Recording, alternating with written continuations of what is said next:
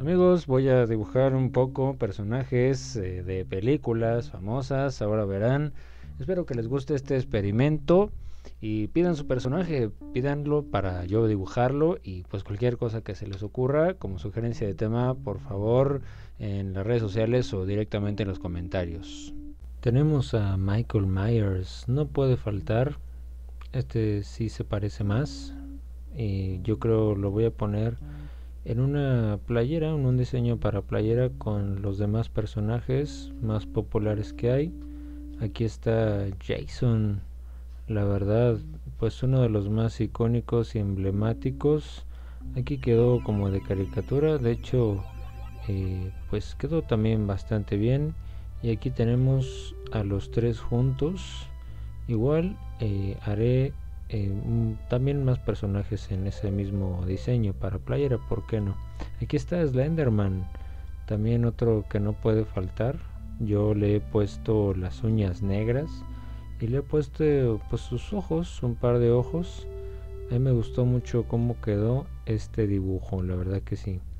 Aquí tenemos eh, la reinvención de Momo.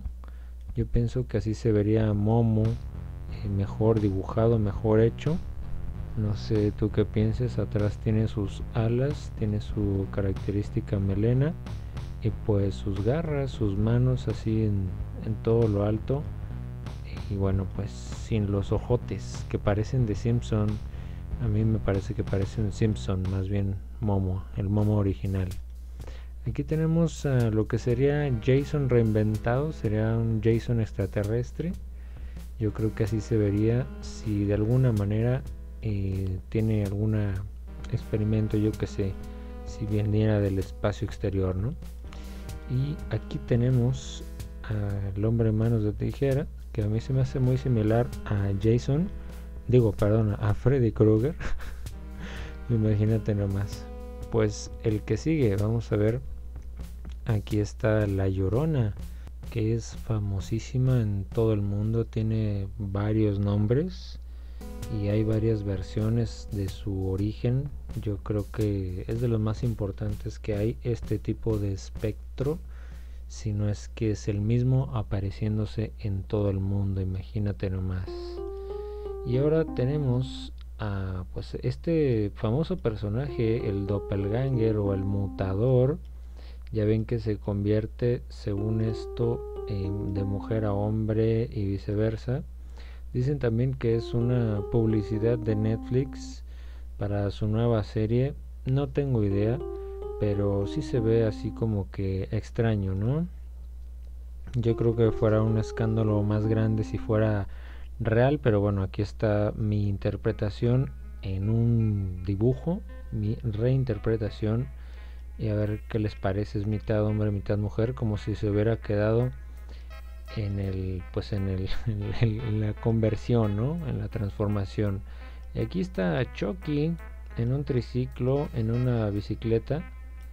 Y yo creo que este quedó bien. Yo creo que medio cruzado con Billy de Jigsaw. Ahí está este Chucky que me salió pues yo lo mismo lo dibujé verdad yo lo he reinventado. Me dio una mezcla con Billy. Pues ahí está el Chucky.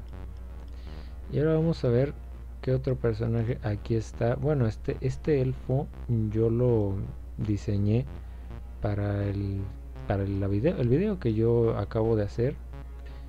Yo creo que me quedó bastante tenebroso. Y pues aquí tenemos un alien, un alien gris, también sin, sin nariz y bastante bien, pues bastante bien logrado. Eh, así que bueno. Aquí también tenemos a los a Alien contra Depredador. Aquí le está haciendo manita de puerco. Le está haciendo una llave. Y está bastante suave. Y bueno, está bastante básico, pero sí es está, está suave. Yo creo que es una manera de pelearse como este bastante fuerte, ¿no? Pero igual la manita de puerco es una muy muy buena llave. Y bueno, pues aquí tenemos una casita de cartón que me aventé. Así es como También puedo hacer algunas cosas de cartón. Yo creo haré algunos personajes o piñatas de cartón. Esto también es muy muy interesante si quieren ver piñatas. No sé si en su país haya piñatas, pero aquí en México es súper básico tener piñatas a la hora de la fiesta para pegarle. Y como este es uno de mis personajes favoritos también, bueno, para dibujarlo y... Ahí está.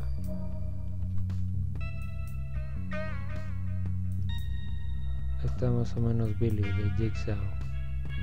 Hace unos momentos iba yo pasando por una gasolinera y le pregunté al señor empleado que carga la gasolina de las bombas, le pregunté, oiga, eh, aquí espantan.